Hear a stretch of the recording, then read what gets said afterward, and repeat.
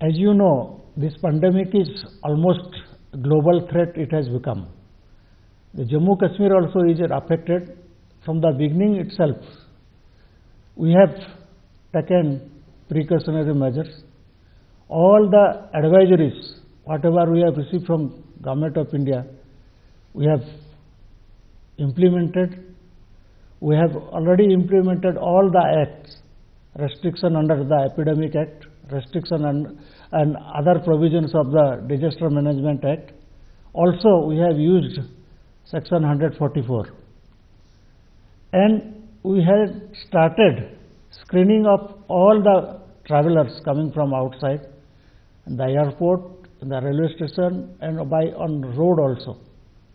At the Lakhanpur gate, we had that arrangement, and we have been checking there, screening them, and some of them we are keeping in the quarantine. We have developed that kind of facilities there. Almost 44,000 such persons have been kept under surveillance. Mostly they are under home quarantine. Only few are in the hospital quarantine.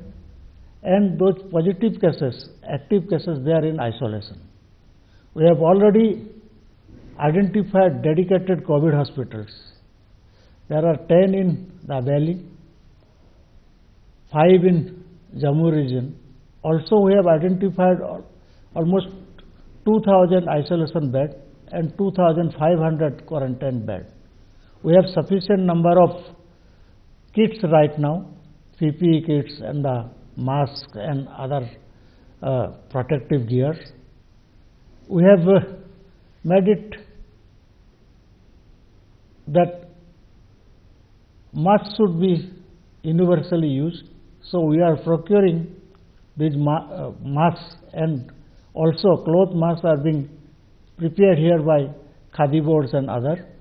And we intend to give it to all our front staff, including the police, paramedical, and also those who are engaged in supplies of essential commodities. Because we have maintained the supply of essential commodities, we had taken decision to give two months ration in advance to all the card holders. Also the Madhyan Bhojan rations, that also we have provided to the parents. Almost 7.7 lakh pension holders have been released their pensions. There are around 1.5 lakh active construction workers. We have released per labor 1000 rupees and again we have taken decision to release further 1000 rupees to them. We identified around 1.26 lakhs laborers and we have put them in different places and rations and food materials and other essential things are being supplied there. As we have identified many red zones where the incidence of positive cases are relatively high, we have imposed some kind of stringent restrictions there.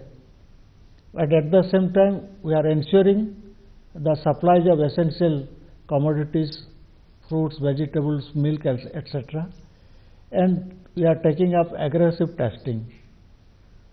Those who have outside contact or those, who have come from outside, like those participants from Nizamuddin, we have all, all we have identified those who are here, and we have kept them under quarantine, and we have started testing them.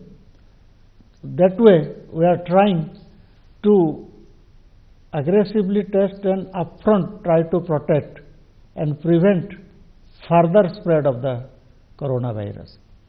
So these how many have been died and how are you dealing with them? We have kept them in the quarantine facilities and uh, isolation in some buildings also, and they are cooperating.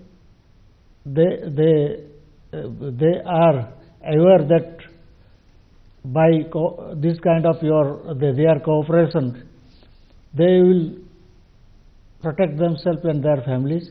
So they are coming forward. It is around, it is 900, 1900.